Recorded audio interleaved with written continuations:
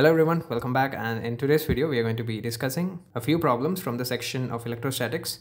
And uh, so we are going to be mainly dealing with uh, the problems that has to deal with you know scaling uh, which I'll be explaining in a bit what that actually means. And then after discussing theory we are going to be solving some problems from the MCQ section and the build section. So there are about like six to seven problems uh, overall in Pathfinder uh, regarding this topic and we are going to be covering them all in a span of two videos. So with that, let's begin with the video.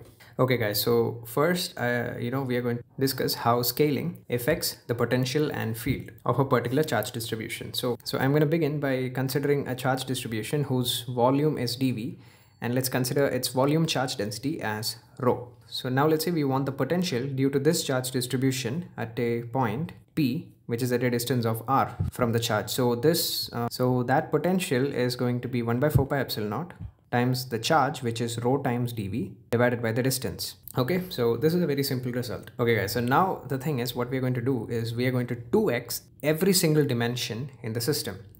So what I mean by that is, uh, so the volume of the cube, we can consider it as dx, dy and dz, right? So I am doubling every single dimension of the system, which, okay, so the cube is about to look something like this. So, so if you consider the volume of the cube as d dx, dy, dz, then each linear dimension, that is dx, dy and dz are going to get doubled, which means the volume will scale by a factor of 8. So if I consider the volume of the initial cube as dV, now it is going to become 8 dV. So now as I said, I scaled up every single linear dimension. So now R will also increase and now R is going to be 2R. So now the question is, so as we scaled up everything, how is the potential going to change as a result of doing this? The answer to that is, okay, let's let's call the new potential as Vp prime. So this is again going to be 1 by 4 pi epsilon naught times the charge. Now the charge is going to be 8 times the initial charge. So it is 8 times rho dV because the volume got scaled by 8 times, right?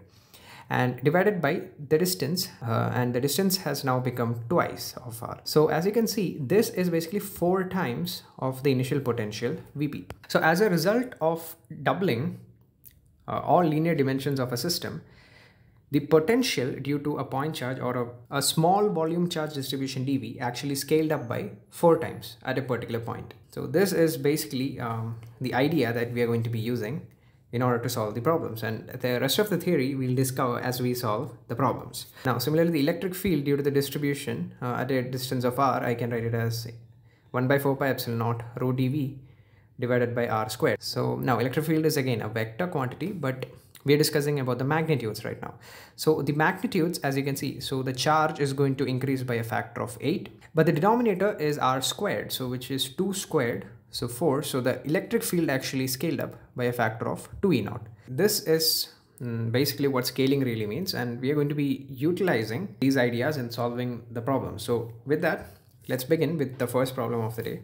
Okay guys, so let's begin with our first problem. So in this question, the question is quite straightforward. We have a cube uh, in which each of the vertices is, is having a point charge of plus q and initially it's given to have a side length of a and each of the charge experiences a net force of magnitude f. Okay, so now the thing is these charges are placed on the vertices of another cube of edge length b. So the thing is in this configuration, the force experienced by one charge on any one charge, let's pick up this charge. So the force will be along the body diagonal and this is given to be f in magnitude. Uh, so without changing the relative geometry, that is basically what we did is we made we made the side length of the cube b. That's the only thing we changed. It's still a cube and still the charges are remaining same. Uh, we have to find what will the magnitude of the net force B in the second case. So if I have to write the force on this uh, this plus q charge in one step, it will be this. So there are three charges that are at a distance of a from our plus q charge. And then there are three charges that are at a distance of root 2a from our plus q charge. And there is one charge that is at a distance of root 3a that is along the body diagonal. So you can simply write this expression as some constant divided by a squared. Now my reason for writing this it this way is that in the second case, let's call the forces f prime, it will simply be c by b squared. So if you take the ratio, then f prime simply comes out to be a square f upon b squared. Okay, so now let's see how to solve this problem with scaling. So what we are essentially doing is we are scaling the linear dimensions of the system by a factor of b by a. So what does this mean? So if, so observe one length, one side length of the cube. If I multiply this with a factor of b by a, the new length becomes b because that's technically what we are doing. Right? Whereas the charges remain the same.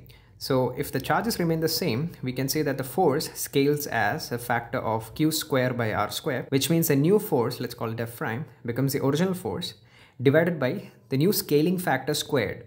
So it'll be b by a squared. And this way also you'll get the same answer as the option. So this was the first problem. If you didn't understand anything, it's fine. We'll solve a bit more problems and that'll make the idea clear. Okay guys, so this is the second problem of the day. So in this question, we have a cube who, which is made of an insulating material and it has a uniform charge distribution throughout its volume. So we have to consider the volume charge distribution, rho in this case. Assuming electric potential due to this charged cube at infinite distances to be zero, potential at the center is found to be V naught. What is the electric potential at one of its corners? Okay guys, so let's say this is our cube and let's mark the center as C and we have to find the potential at one of its corners. So let's call this point as P. Now VC is given to be V naught and it's a volume charge distribution. So now the thing is we obviously cannot take up volume elements and integrate because, because that's going to make it a, a very scary integral. So let's say this is a volume element, then you have to do integral rho dv upon r square and that's going to be a scary integral.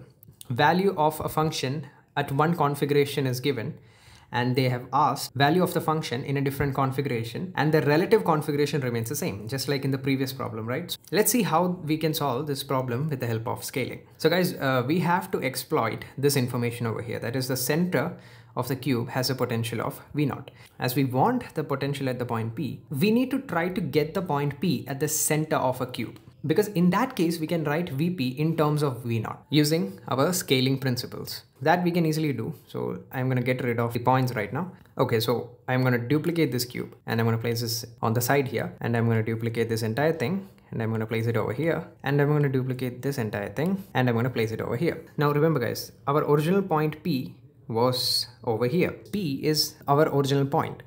Now, the good thing is now this P is actually at the center of this big cube that we just created with our imagination. Now we can use our scaling principle. So we actually went from right to left, right? So let's say the side length of our original cube was A. So the new side length, as you can see, is going to be A plus A, which is 2A. So it's as good as saying that we scaled all the linear dimension of our original system by a factor of 2 and hence we'll get this bigger cube, right? So okay, so now let's see how the potential function scales. So the potential function, keeping the relative configuration same once again, depends on how we scale the charge q divided by how we scale the linear dimensions. So now what happened to the charge here? So as we go from right to left, guys, the total charge depends on the total volume, right? Because it's a volume charge distribution. So as we double the side length, the volume of this cube increases by a factor of 8 which means the charge actually scaled up by a factor of 8 times the initial charge. And the linear dimension as I just said we multiplied it with a factor of 2 right? It went from 8 to 2a so the linear dimensions actually scale up by a factor of 2 times the original so actually the potential scaled up by a factor of 4 times the original potential. And this is what we uh, actually found out in the derivation, right? So the potential at point P, which is actually the center of the bigger cube, right, is actually 4 times potential at the center due to the smaller sphere by our scaling argument. So is the answer 4V naught? And the answer to that is it's not the final answer. And the reason for that is these seven additional cubes that we just added, uh, we added it with our imagination. It's not there exactly, right? But the good thing is the contribution due to each of these, you know, seven, each of these eight cubes is identical because point P is symmetrically located with respect to each of these cubes. So we can essentially say that the contributions due to each cube for the potential at the center is actually simply 1 by 8 of the total. So basically what that means is that our potential at our point P is actually 4 V naught divided by 8, which is simply V naught by 2, which would be our final answer. Okay, so that's the solution to this problem. Okay guys, so moving on to this next problem. So this is the build your understanding problem number 18. So in this question, we have a cube uh, that is shown in figure 1 with uniformly distributed charge in its entire volume. So again, we have to consider volume charge distribution and the intensity of the electric field and potential at one of the vertex, just, just like the previous problems, uh, they are given to be E naught and V naught. A portion of half the size half edge length of the original cube is cut and removed. So basically this small cube over here whose edge length is a by 2 is chopped from this big cube. And as a result, we now have to determine the potential and the electric field at point P. Okay guys, so now let's just uh, speed run these problems. Okay, so let's just start with the potential because that's the easiest to understand, right? So the potential here due to this due to this cube of side length A is given to be V naught. Now guys, this uh, point P is at the vertex of this cube, right? And similarly, even if you consider this removed cube, assume it's there for a second. This point P is the corner of that cube as well, right? So now we can use scaling for this removed cube in order to determine the potential at the point P, right? Because it's exactly similar to this. So again, so what is this? So this is simply a cube whose linear dimensions are multiplied by one half as compared to the original cube, right? So the potential again, it scales. Now I'm not, I'm going to directly write it. So as when we doubled uh, the linear dimension, the potential became four times, right? So when we half it, the potential becomes one fourth. So due to the bigger cube, it was V naught. So due to the cube of A by two, the potential contribution is going to be V naught by four. And I think it is pretty easy to understand. So now finally, what is a potential point P? It is the potential due to the entire cube at that point P, which is V naught. And we need to subtract the potential due to the small cube, which we just determined as V naught by four. So the answer comes out to be 3 V naught divided by 4. Okay. So uh, now let's talk about the analysis of the electric field. So electric field, I mean, the only difference is that first of all, the scaling factor is going to differ by a bit. And the second factor is that it's a vector quantity, right? So we have to ensure that the directions match. Okay, but uh, the analysis is uh, going to be pretty similar. The electric field intensity vary, you know, scales how we scale Q divided by how we scale the linear dimension, the square of it. So that's the only difference, right? So it's given that the electric field at point P is E naught due to the big cube. And by symmetry, we can see that the direction of E naught will be along the body diagonal, right? So, okay guys, so now I want you guys to forget about everything and just imagine that this cube was actually present here. Let's say the electric field due to that cube, again, it will be by symmetry along its body diagonal Let's say its magnitude is E prime. Now E prime we can simply determine by scaling. So it is going to be the original electric field. Okay guys, so now what is happening to the charge again? Uh, so the initial length of the bigger cube was A, right? And now we halved it, which means the volume becomes 1 by 8 which means the charge becomes 1 by 8. Scaling factor for the charge is 1 by 8 divided by, now what happens to the linear position? So that is getting halved, right? So that will be 1 by 2 squared. And as you can see the electric field has a magnitude of E naught by 2 due to this small cube of side length A by 2. So by superposition we can say that because of the big cube it is going to be E naught along the body diagonal. And because of the removed cube you have to actually subtract it right? So so this contribution is going to be E naught by 2 but in the opposite direction. So the final contribution is going to be E naught by 2 along the body diagonal of the cube. So that was the solution to this problem. So that will be E naught by 2 and 3 V naught by 4. Okay, so now let's move on to the next problem. So this problem will be the last problem of the day guys. And after this, there are a few more problems left and I'll come with another video for that. And those problems are pretty good as well. So let's begin. So we have a right pyramid whose, uh, which has a square base and height h. Again, it has a uniform volume charge distribution and the magnitude of electric field and potential is given now at the apex okay and now we chopped uh, off the pyramid at a height of h and it has been removed find the modulus of the electric field and the potential at the apex p of this truncated pyramid. Okay guys, so again first clearly we can observe that this is a problem of scaling. The only difference is that this problem requires of us a little bit more geometry. That's the only difference. Okay guys, so we have a big pyramid here whose height is capital H and we have a small pyramid over here whose height is smallest. So what we're trying to figure out with the help of geometry is that what factor should I multiply to the linear dimension so I can transform this big pyramid of height h into the small pyramid of height small h. Okay? So there is a and there is a result in geometry. And we don't really need the exact result. That is basically if we have a pyramid whose uh, base area is a then its volume we can simply write as 1 by 3 base area times height. Okay, so now I'm to make an argument. Let's say I say that this is our pyramid and if I drop a perpendicular uh, to the base of our pyramid, if I want diagonal of the base, which is a square, right? And let's say this angle over here is theta. So we know this length is h. So I can say that this uh, distance over here is simply h tan theta.